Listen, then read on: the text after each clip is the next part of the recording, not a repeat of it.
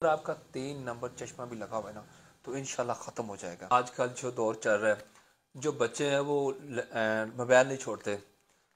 Laptop देखते रहते हैं, मोबाइल देखते रहते हैं, एलसीडी देखते रहते हैं, जिसकी वजह से उनकी नज़र कमज़ोर हो जाती है बहुत ज़्यादा। मैं आपके सामने चीज़ लेके आऊँ नुस्खा एक लेके आऊँ, आपने बना के यूज़ करना है।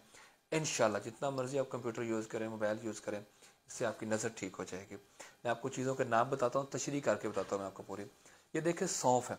सौंफ आपको पता है, दिमाग को तेज़ करने के लिए, दिमागी कमज़ोरी के लिए, उसके अलावा मिश्री मिश्री जो नुस्खे में डाली जाती है सिर्फ़ इसके टेस्ट को अच्छा करने के लिए। मैं आपको पहले से तशरी से मुकम्मल बता दूँ। और काली मिर्च, आपको पता है काली मिर्च का फ़ायदा क्या है? काली मिर्च जो है, वो आपको मैदे को ठीक करती है। ज़ाफ़रान ज़ाफ़रान तीन माशे डालने हैं। ज़ाफ़रान को जो काम है, वो आपके पट्ठों को ताकत देता है, कमज़ोरी को ख़त्म करता है। मगज़ बादाम ये क्या करते हैं, आपको पता है नज़र को, जिनकी नज़र वीक हो चुकी होती है, दिमागी कमज़ोरी होती है, पट्टे कमज़ोर होते हैं, उसके लिए बहुत अच्छी चीज़ है। भुने चने। चने जो है, आपको पता है, ये ताकत के लिए बहुत अच्छी चीज़ है, उसके अलावा जो चिल्लों का बगलों वाला मजाज होता है, उसके लिए बहुत परफेक्ट चीज़ है। आपने क्या काम करना है, इनको अपने पीस लेना है, पीस के इसका पाउडर कर लेना पाउडर करके आपने चम्मच का तीसरा हिस्सा या आधा चम्मच सुबह, आधा चम्मच रात को यूज़ करें। अगर आपका तीन नंबर चश्मा भी लगा हुआ है ना तो इन ख़त्म हो जाएगा। अगर आपको मेरी वीडियो अच्छी लगती है, इसको लाइक भी करते करें शेयर भी करते करें।